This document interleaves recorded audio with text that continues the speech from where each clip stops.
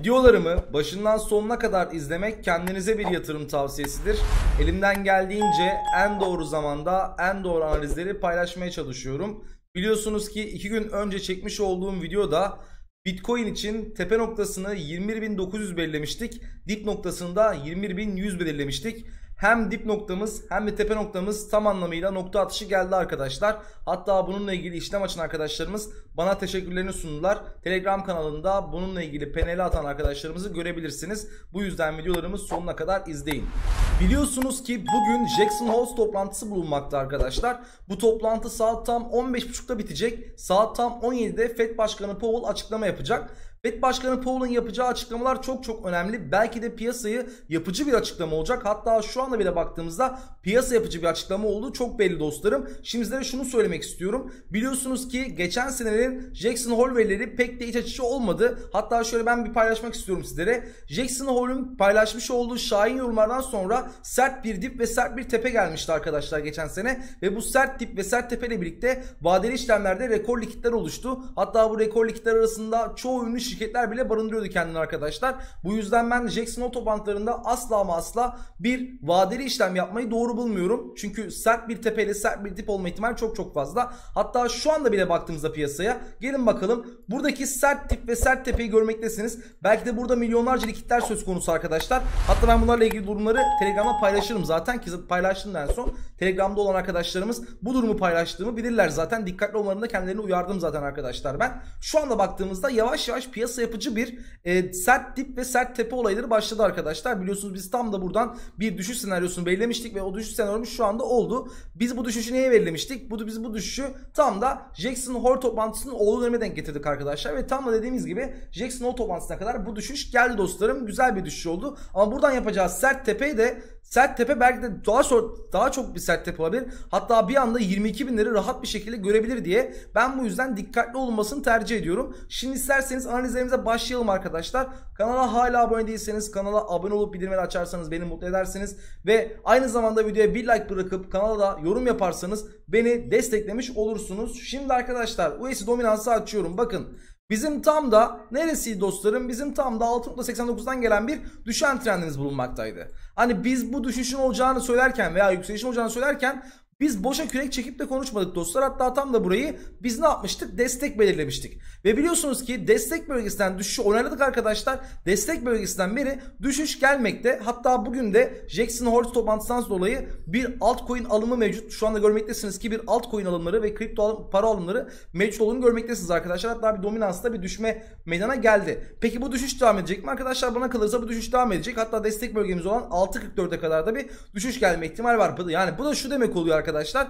Jax toplantısı, Jackson Hole toplantısından sonra büyük bir ihtimalle yükseliş görme ihtimalimiz çok çok fazla. Haberiniz olsun zaten bugün istediğimiz dip noktası geldi. 21.100'e kadar düşüş yaptı. 21.100'den alımlar yapıldı. Bir piyasa yapıcı hareket oluştu ve bu piyasa yapıcı harekette de toplantı sonrası bir yükselişler göreceğim makul arkadaşlar. Ama tabii ki de ben şurada kesin yorumlar yapmak istemiyorum. Zaten size bunu da söylüyorum arkadaşlar. Bugün yapılacak yorumlar geçen seneye karşılık bir gelen bir yorumdur arkadaşlar.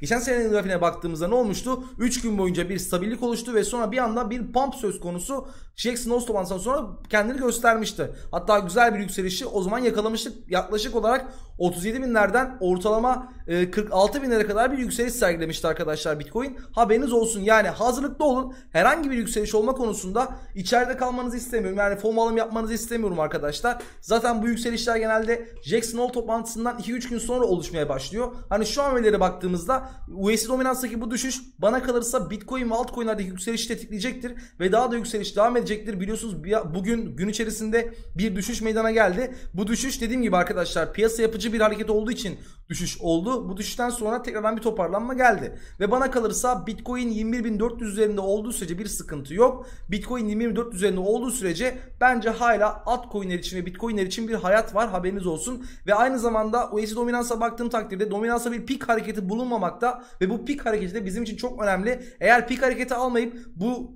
olduğu gibi kalırsa büyük bir ihtimalle bu düşüşün devam edeceğini düşünmekteyim arkadaşlar. Eğer düşüş devam ederse ne olacaktır? Düşüş devam ettiği takdirde biliyorsunuz bizim tam da 6.55'ten gelen bir düşen trendimiz bulunuyor. 6.55'ten gelen düşen trende büyük bir ihtimalle vuracaktır arkadaşlar kendini bilginiz olsun. Zaten bizim birinci destek bölgemiz burası. ikinci destek bölgemiz olan bölgemizde 6.5 6.5 bölgesi 6.5'a gelirse zaten arkadaşlar büyük bir ihtimalle Bitcoin'i en baştan 23 binlerde ya da 24 binlerde görebiliriz. Bilginiz olsun. Dostlar şu anda Bitcoin'e girmek istiyorum tekrardan. Ee, Bitcoin en baştan geldik dediğim gibi geçen seneki Jackson Hole grafiğine çok benzeyen bir grafik görmekteyiz şu anda. Hatta günlük bazda baktığımızda tam anlamıyla Jackson Hole grafiğinin kopyası diyebilirim arkadaşlar. Şu hareket bildiğiniz geçen seneki Jackson Hole toplantısındaki grafiğin bildiğiniz kopyası arkadaşlar bana göre. Hatta zaten piyasaya baktığımız takdirde piyasadaki güçlü bir sat potansiyeli yavaştan bir zayıf al potansiyeli dönüşmeye başlamış arkadaşlar. Bu da piyasaya bir yön verme konusunda kendini gösteriyor. Açıkçası dostlar bu piyasada e, şunu düşünüyorum ben sadece olur da eğer bu trend aşağı yönlü kırılmazsa yukarı yönlü devam ederse bana kasabı yükselen takoz kendini yukarı doğru kırarsa en baştan bir 24 binleri veya 25 binleri görme ihtimalimiz var. Ama tabii ki de şunu söylüyorum bakın bugün hiçbir yapılan analiz kesin ve doğru bir analiz değildir. Bu yüzden bugün işlem yapmanızı kesinlikle tak yani Kesinlikle tasnif etmiyorum arkadaşlar. Elinizden geldiğince bugün vadeli işlemlerden kaçın. Haberiniz olsun. Şu an saat kaç arkadaşlar? Saat 15.56. Videoyu çok fazla uzatmak istemiyorum. Jackson Hole haberleri güzel gelirse, beklentinin altı gelirse pump'ımız olacaktır ama beklentinin üstü gelirse büyük bir ihtimalle 21.400 üzerinde kalmadığımız sürece 20.700'e kadar en baştan bir düşüş görebiliriz ama ben şu an için yani bugün için 19.000 bölgelerini çok erken buluyorum. Yani oralara kadar gelmeleri bence zor gibi geliyor bana arkadaşlar. Bir anda oraya kadar düşmesi bana kalırsa zor gibi geliyor. Ama FED faiz kararının toplantısında büyük bir ihtimal düşüş olabilir oraya kadar eğer kötü bir sonuç gelirse. Ama şu an için ben bunu beklemiyorum. Hala bir yükseliş bekliyorum ki ben yükseliş bekliyorum derken bile ben bu video açmayı Bitcoin 21.500'dü ve şu anda 21.645'e kadar çıktı. Ve bu yükseliş umarım devam eder. Artık piyasadan birazcık kan alması lazım. Piyasanın birazcık para aktarılması lazım. Ve bu için bizim için çok önemli arkadaşlar. Umarım piyasa yükselmeye böyle devam eder ve şu anda yükseliş devam ediyor. Tam nokta atışımızı gene yaptık gibi video içerisinde. Kendinize iyi bakın dostlarım. Ee, yarın görüşmek üzere. Elimden geldiğince size doğru analizler vermeye çalışıyorum. Dostlar bizim Lord Hoop Kemikli'den başka bir Telegram grubumuz yoktur.